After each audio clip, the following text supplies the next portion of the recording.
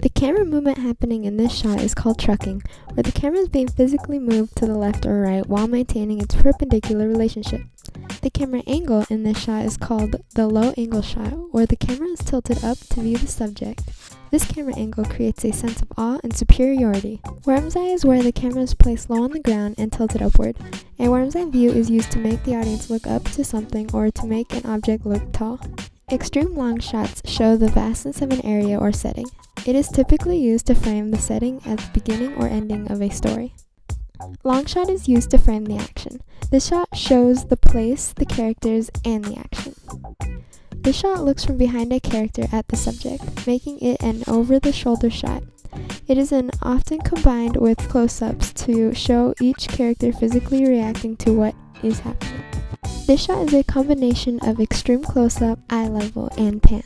Extreme close up is when the shot focuses the audience's attention on whatever is significant in the shot or facial reactions of a character, which is what we used it for. Eye level. The audience sees the scene as they would in real life. This camera angle looks directly into the character's eyes. Pan is rotating the camera horizontally from left to right or right to left, similar to moving your head side to side. A pan can also give the feeling of searching for something within the shot.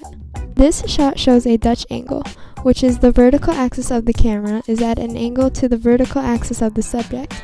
Often, evil characters or characters in dangerous situations are shown through a tilted angle.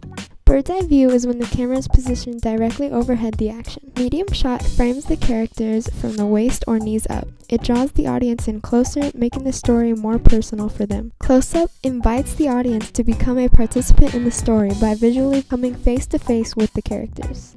A high angle shot is when the camera is placed over the horizon line, tilted down to view the subject.